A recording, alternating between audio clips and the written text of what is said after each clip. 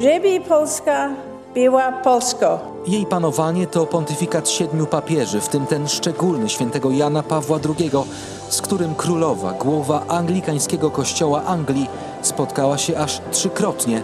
Ten sojusz wzmocnił solidarność, która obudziła się w Polakach i pozwoliła obalić komunizm.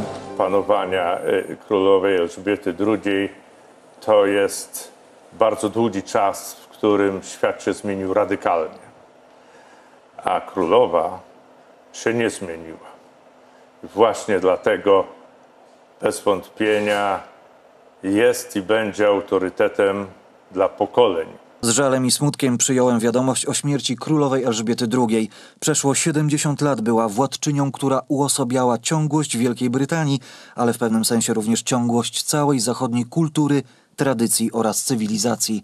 Z pewnością pozostanie w pamięci nie tylko wielu pokoleń Brytyjczyków, ale i całego świata.